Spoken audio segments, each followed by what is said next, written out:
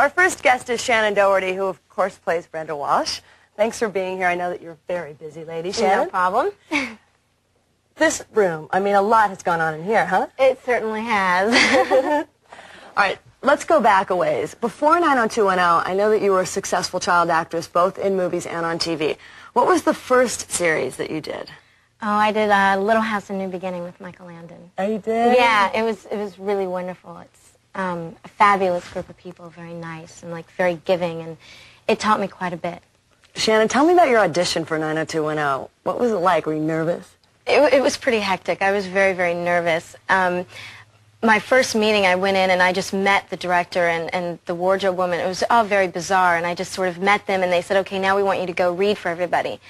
So I walked over to the next building. I'm thinking, okay, who's going to be in there? Who's going to be there? I walked in this gigantic office, I mean, huge, and it was like Aaron Spelling and Duke Vincent and the director and all these people, and they were all just staring at me. And, you know, I just, I had to do a good job and concentrate, but I was so nervous. It was unbelievable. How are you going to spend your summer? Uh, I'm actually going to do a film. I'm doing one in the beginning of April with Judd Nelson, and then we're talking about doing another one later on in the summer.